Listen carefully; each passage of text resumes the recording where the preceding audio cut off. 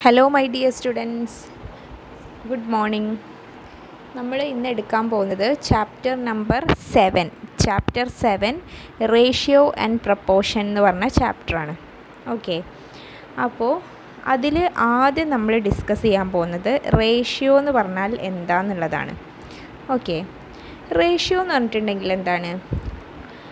നമ്മൾ റേഷ്യോ എന്നൊക്കെ മുന്നേ കേട്ടിട്ടുണ്ടാവും അല്ലേ? രണ്ട് ക്വാണ്ടിറ്റീസിനെ തമ്മിൽ കമ്പയർ ചെയ്യാൻ വേണ്ടിയിട്ടാണ് നമ്മൾ റേഷ്യോ യൂസ് ചെയ്യുക ഓക്കെ അതായത് ഇപ്പം ഒരു ക്വാണ്ടിറ്റി ഒരു ക്വാണ്ടിറ്റീനേക്കാളും രണ്ടിരട്ടി അല്ലെങ്കിൽ മൂന്നിരട്ടി എന്നൊക്കെ നമ്മൾ പറയാറുണ്ടല്ലോ. അപ്പോൾ അങ്ങനെയൊക്കെ പറയുന്ന സമയത്താണ് നമ്മൾ റേഷ്യോ യൂസ് ചെയ്യുക. അതായത് ഇപ്പോൾ ഞാൻ പറയാണ് ഇപ്പോൾ എന്റെ വയസ്സ് എന്റെ ഫാദറിന്റെ വയസ്സിനേക്കാളും രണ്ട് ഇരട്ടി കുറവാണ് എന്നൊക്കെ പറയുകയാണെങ്കിൽ അതെന്താണ്? അത് നമ്മൾ റേഷ്യോ എന്നുള്ളൊരു കോൺസെപ്റ്റ് യൂസ് ചെയ്തിട്ടാണ് എത്ര ടൈംസ് കൂടുതലാണ് എത്ര ടൈംസ് കുറവാണെന്നൊക്കെ പറയാറുള്ളത്. അപ്പോൾ അതാണെന്ത് ratio ratio is a measure of comparison of two quantities okay പിന്നെ പറയുന്നതാണെന്ത്? ഒരു ക്വാണ്ടിറ്റി മറ്റേ ക്വാണ്ടിറ്റീനേക്കാളും എത്ര തവണ കൂടുതൽ അല്ലെങ്കിൽ എത്ര തവണ മറ്റേ ക്വാണ്ടിറ്റി എടുത്താലാണ് ഒരു ക്വാണ്ടിറ്റി ആവുക എന്നൊക്കെ ഉള്ളതാണ് റേഷ്യോ ഓക്കെ അത് നിങ്ങൾക്ക് എക്സാമ്പിൾസ് ചെയ്യുമ്പോൾ കറക്റ്റ് ഐഡിയ കിട്ടും റേഷ്യോനെ കുറിച്ചിട്ട്. ഓക്കെ?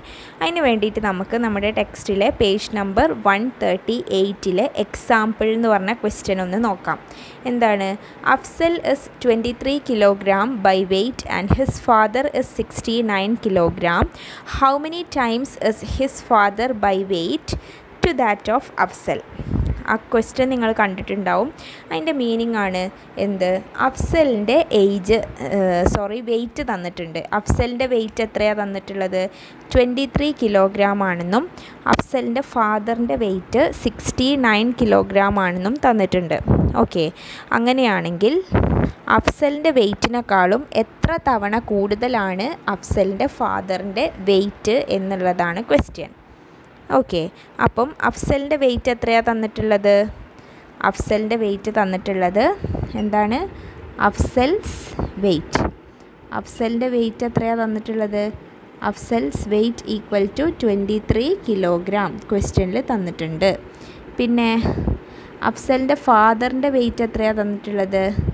അഫ്സലിന്റെ ഫാദറിന്റെ വെയിറ്റ് തന്നിട്ടുള്ളത് സിക്സ്റ്റി നയൻ കിലോഗ്രാം ഓക്കെ അതും ക്വസ്റ്റ്യനിൽ തന്നിട്ടുണ്ട്. ഇനി എന്താ നമ്മളോട് പറഞ്ഞിട്ടുള്ളത്? അഫ്സലിന്റെ ഫാദറിന്റെ വെയ്റ്റ് അഫ്സലിന്റെ വെയ്റ്റിനേക്കാളും എത്ര തവണ കൂടുതലാണ് എന്നുള്ളതാണ് ക്വസ്റ്റ്യൻ. അപ്പോൾ നമ്മളത് എങ്ങനെയാണ് കാണുക? നമ്മൾ റേഷ്യോ കാണുക അല്ലേ? എങ്ങനെയാണ് റേഷ്യോ എഴുതുക? Ratio okay. നമ്മൾ റേഷ്യോ ഓഫ് അഫ്സലിന്റെ ഫാദറിന്റെ age.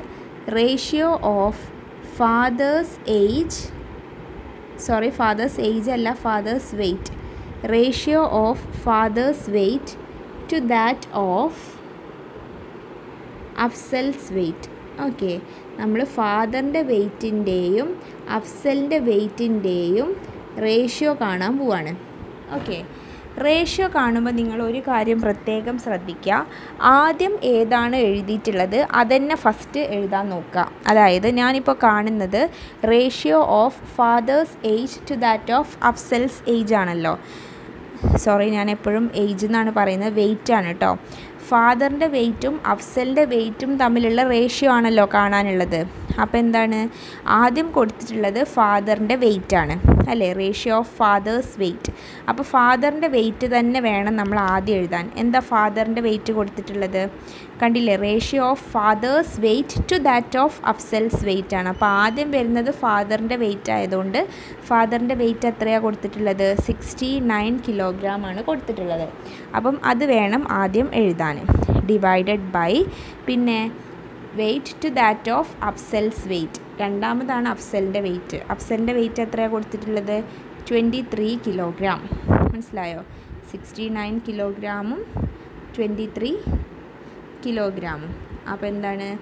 റേഷ്യോ എത്രയാണ് കിട്ടുക? Sixty nine divided by twenty three എത്രയാണ് sixty nine divided by twenty three നിങ്ങൾ ചെയ്ത് നോക്കിയാൽ അറിയാം. അതിന്റെ ആൻസർ ത്രീ ആയിരിക്കും. മനസ്സിലായോ?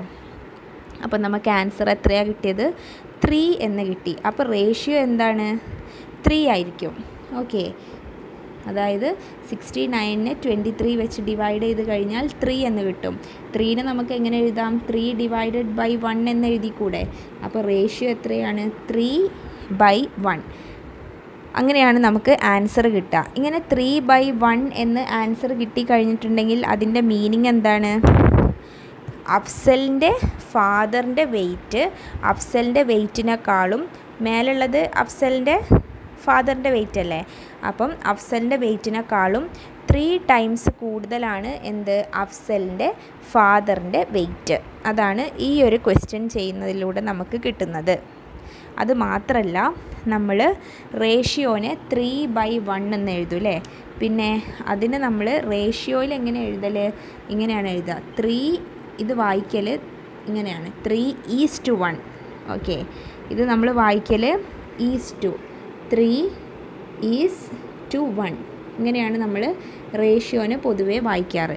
ലാസ്റ്റ് നമുക്ക് ത്രീ ബൈ വൺ എന്ന് കിട്ടിയില്ലേ? അതിനെ നമ്മൾ റേഷ്യോ ആക്കിയിട്ട് എഴുതുമ്പോൾ ഇങ്ങനെയാണ് എഴുതുക. ഇത് വായിക്കൽ ത്രീ ഈസ് ടു വൺ എന്നാണ്. ഓക്കെ അപ്പം ഇതാണ് എന്താണ് എന്ത് റേഷ്യോ എന്ന് പറഞ്ഞിട്ടുണ്ടെങ്കിൽ. ഒന്നുമില്ല റേഷ്യോ കാണാൻ പറഞ്ഞാൽ ജസ്റ്റ് ഇതാ ഡിവിഷൻ ചെയ്യുക. അപ്പോൾ ഒരു ആൻസർ കിട്ടും. അത് ഇതുപോലെ എടുത്തെഴുതുക ഇങ്ങനെയാണ് നമ്മൾ റേഷ്യോ കാണാറ്.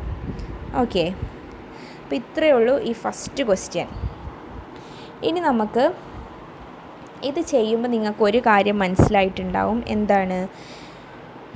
എന്താ അപ്പോൾ ഇതിൽ മനസ്സിലായത്?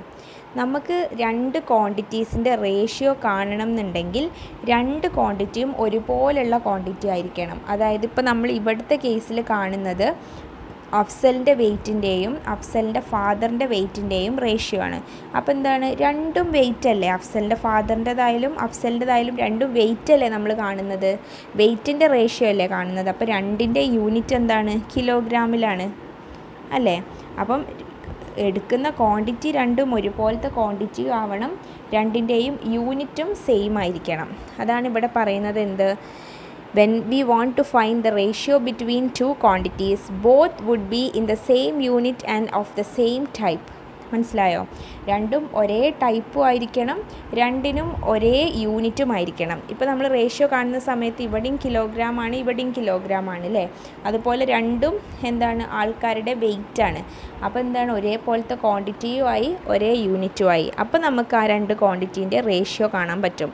നേരെ മറിച്ച് ഇവിടെ ഒരാളുടെ ഫാദറിന്റെ വെയിറ്റുമാണ് തന്നിട്ടുള്ളത് അഫ്സലിന്റെ ഏജുമാണ് തന്നിട്ടുള്ളത്. അപ്പോൾ നമുക്ക് റേഷ്യോ കാണാൻ കഴിയുമോ ഇല്ല. കാരണം എന്താണ്? വെയിറ്റ് എന്ന് പറഞ്ഞാൽ അതിന്റെ യൂണിറ്റ് കിലോഗ്രാമിലുമാണ്. ഏജ് എന്ന് പറഞ്ഞാൽ അതിന് യൂണിറ്റ് ഉണ്ടോ? ഇല്ല. അപ്പോൾ എന്താണ്? അപ്പോൾ ഏജ് എന്ന് പറഞ്ഞാൽ കിലോഗ്രാമിലായിരിക്കില്ലല്ലോ യൂണിറ്റ്. അപ്പോൾ രണ്ടിന്റെ യൂണിറ്റ് ഡിഫറെന്റ് ആയതുകൊണ്ട് തന്നെ രണ്ടിന്റെയും റേഷ്യോ നമുക്ക് കാണാൻ കഴിയില്ല. അപ്പോൾ എപ്പോഴും നമ്മൾ റേഷ്യോ കാണുമ്പോൾ കാണുന്ന രണ്ട് ക്വാണ്ടിറ്റീന്റെയും യൂണിറ്റ് സെയിം ആയിരിക്കണം.